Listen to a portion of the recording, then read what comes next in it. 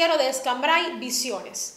Hemos llegado hasta aquí con la misma premisa de la arrancada, la de informarte y comentar lupa en mano los asuntos que generalmente tocan tu vida cotidiana. Como te hemos sugerido varias veces, recuerda que puedes opinar sobre nuestros contenidos para hacernos saber los temas que te interesan. Y si quieres conocer los asuntos de nuestra agenda en esta emisión, presta atención a los titulares.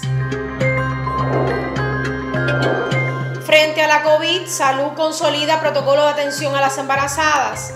El abasto de agua en la ciudad de Santi Espíritu se debate en redes sociales. ¿Cuáles son las alternativas para elevar la calidad del judo en Santi Espíritus? No te pierdas la segunda y última parte del análisis con Miguel Ángel Cruz.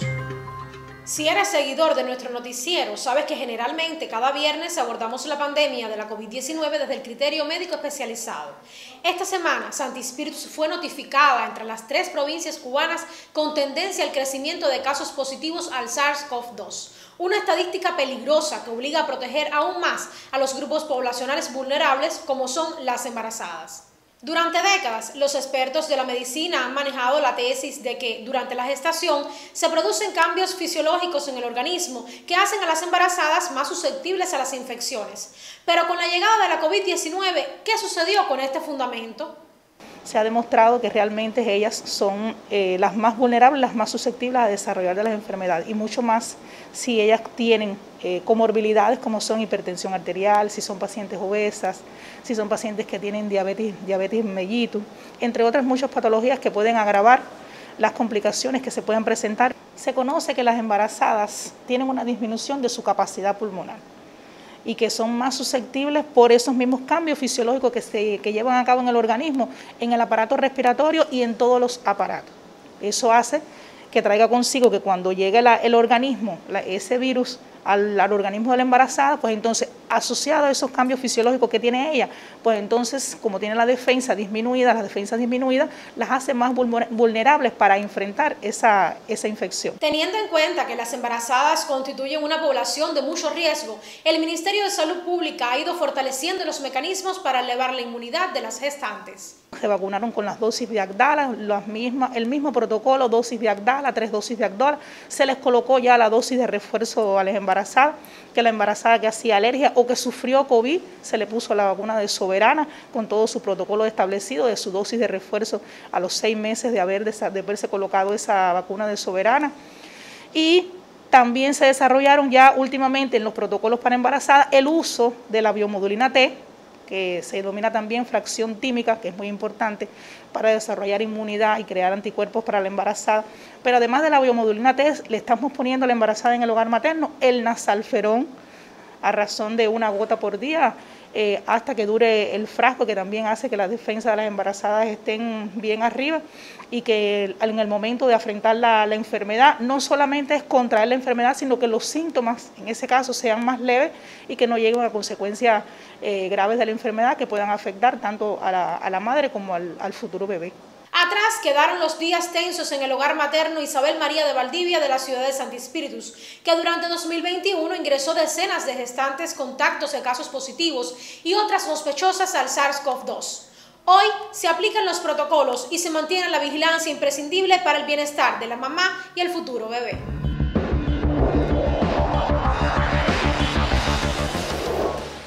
Seguimos en este segundo momento conversando sobre la calidad del judo espirituano cubano y también a nivel internacional.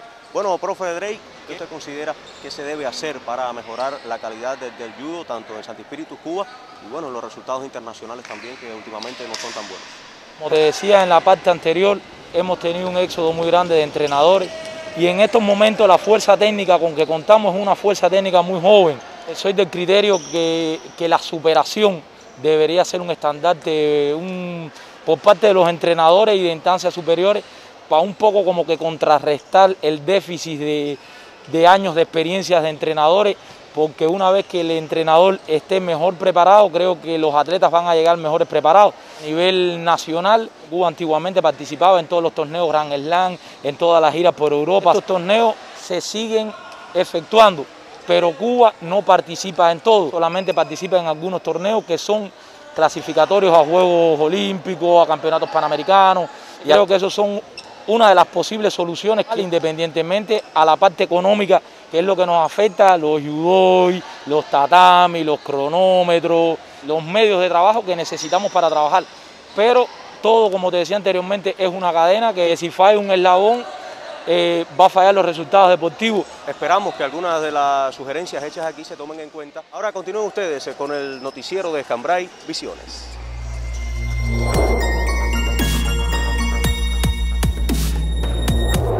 Desde hace semanas, el servicio de abasto de agua a las ciudades de Santi Espíritus y Cabaiguán se mantiene afectado por la rotura de dos equipos en la estación desde donde se bombea el líquido de la presa Tuinucú.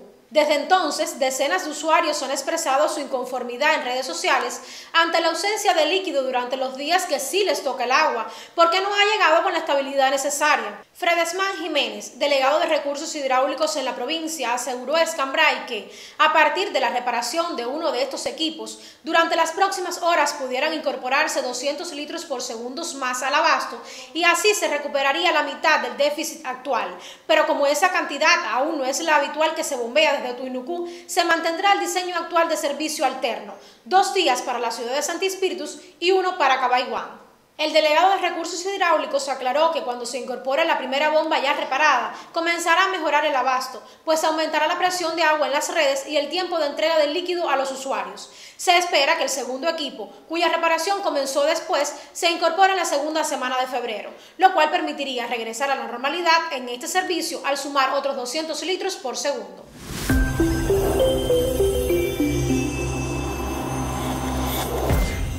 El proyecto de rehabilitación hidráulica en el municipio de Trinidad ha navegado por los mares de los incumplimientos en los plazos de ejecución e insuficiente calidad de los trabajos concluidos. La historia completa puedes interpretarla en el comentario de Ana Marta Panadés en la edición impresa de Escambray de este 5 de febrero.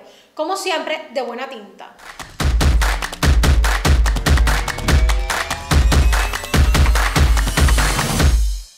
La oficina del conservador de la ciudad de Santi Espíritus, en colaboración con su de Matanzas, abrió la convocatoria para la matrícula de un curso internacional de peluquería y estilo de última generación a cargo del proyecto Imagen Fonte, una iniciativa que recorre el país a través de la red de ciudades patrimoniales. Este, este curso no solo pretende a los interesados enseñar el arte de pelar, hombres o mujeres interesados en cursarlo, sino también que persigue un objetivo detrás que es, a través de un análisis demográfico, estudiar el comportamiento del oficio en Cuba y ayudar a su rescate y preservación, es decir, el oficio del barbero, del peluquero, eh, cómo se ha mantenido a través de los años y cómo ha cambiado el concepto de belleza del cubano a través del tiempo, también un poco por la influencia foránea que, hemos estado viviendo desde hace un tiempo acá. En la maqueta de la ciudad, más conocida por todos los espirituanos, que es el Centro de Interpretación de la Ciudad de Santi Espíritu, se está realizando la matrícula de este curso todos los días de lunes a viernes de 8 de la mañana a 4 de la tarde. Eh, se estará realizando la matrícula y el curso comenzará eh, luego de dos semanas de matrícula el lunes 13. Eh, deben comenzar en la propia maqueta de la ciudad a seleccionar este, este curso internacional. Pueden contactarlo también información a través de las redes sociales de la Oficina del Conservador de la Ciudad, ya sea en Facebook, en Instagram y a través del número 59 96 98 64, a través del WhatsApp de ese número y a través del teléfono fijo 41 32 10 12 que eh, tienen toda la información y pueden contactarlo a través de, de esos teléfonos. El curso consta de 20 encuentros de lunes a sábado. Los asistentes recibirán 55 gigas de material didáctico de manos del profesor Armando Fonte, creador del proyecto, quien cuenta con más de 4.000 alumnos graduados en Cuba y el extranjero.